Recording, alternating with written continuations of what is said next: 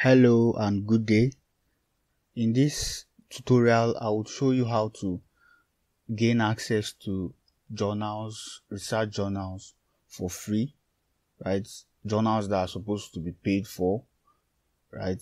I'll show you how to an alternative way to access or gain access to them for free. Now, so this is an answer to this particular question. Someone asked me how I uh, got that particular journal I used for the um, simulation, one of the simulations I did on my channel. So I will be showing you how to access journals. Now, we have a couple of steps to do that. Right. So, um, to get journals that are supposed to be paid for, you could, um, you could either go through your institution right? Or you could actually pay for them, right? But if you don't want to go through these two methods, you can use a website, a website called Sci-Hub, right? So this Sci-Hub has different um, sites when you browse about it, right? You can use it to gain access to journals that are supposed to be paid for. So you have a couple of steps here that you can use to actually do that.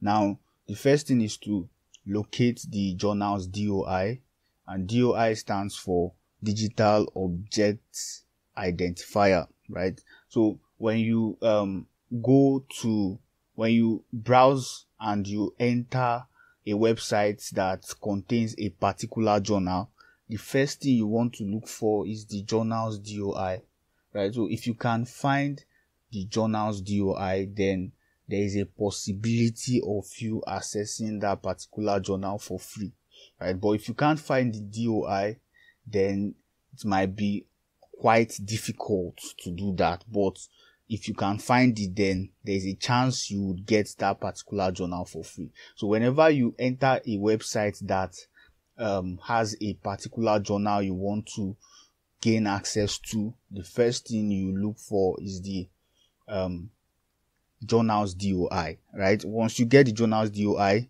you copy it and then you paste it in any of the Sci-Hub links, right? So I'll be showing you all that in this particular tutorial.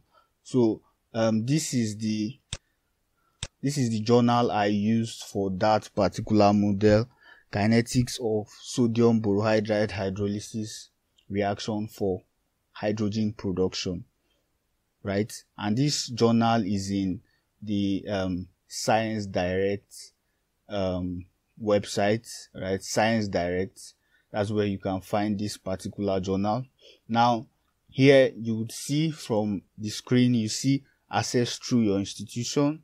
Now, that is one way you can actually uh, gain access to journals, right? So this is applicable to students, then maybe um, lecturers as well, right? People that are in the academia, they can actually access journals through their institution, right? And then also you can also pay for the journal, right? You can pay for the journal if you want to.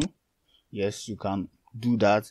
But if you don't want to pay for it, then you have to go through this method I'm trying to show you. So the first thing to do is to um, locate the uh, DOI, like I said earlier.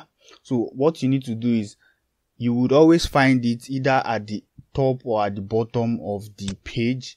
So you either scroll down or you look for it at the top. If you don't find it at the top, you scroll down to check for it until you find it, right? So, but in this case, it's quite, it's at the top, right? So you just copy it, right? This is it. If you can see my cursor, right? This is the DOI here. This is the DOI. So all we need to do is to um, copy it, right? Copy, you, you right click and click on copy link address, right? So you click on it, copy link address, then you open a new tab, right? You open a new tab and then you just search for Sci-Hub, right? Sci-Hub. This is the spelling S-C-I-H-U-B, right? And you click enter and a couple of um, websites, right, relating to Sci-Hub will appear. There are a couple of them here, right? So you can actually use any one you like, right? So I'll just click on the first one, on the first one. So when you get into the Sci-Hub environment, you now paste the copied DOI, you paste it in the um, dialog box, you paste, paste it there and then you click open, right? You click open, right? So this is the journal, right? Once you click open, you gain access to it.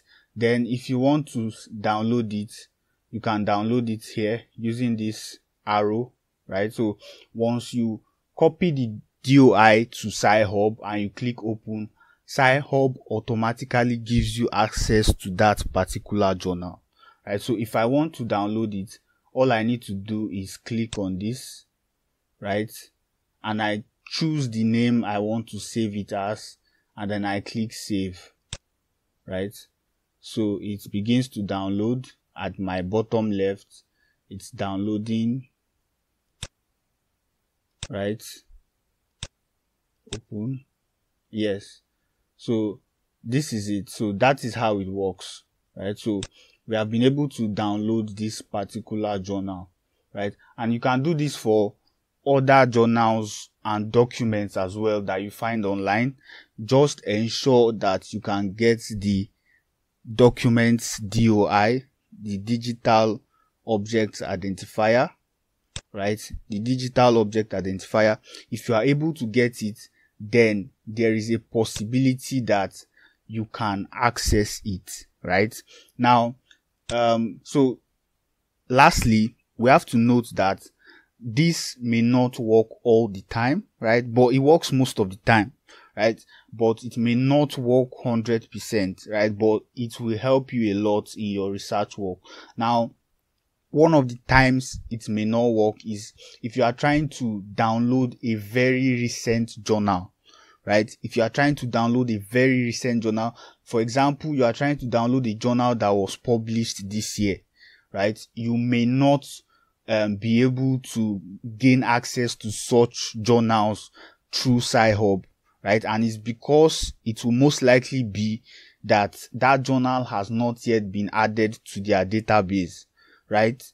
So a journal that was published this year, for example, maybe around August or June this year, right? If you try to um, access it through Sci-Hub, it may not be possible, right? Because it's a very recent journal, right? But you will be able to access journals that were uh, published from last year and uh, previous years, right? You, you will always be able to access such journals. But journals that were published recently, journals that were published this year, you may not be able to, right? But it would obviously be added to the um, database subsequently, right? In the future. So you may still be looking out for it from time to time until you're able to access it via this method, right? So that's it. So it will work most of the time, but a few times it may not work, right? But this is how you can go about getting journals, right? Journals that are supposed to be paid for, right? This is how you go about.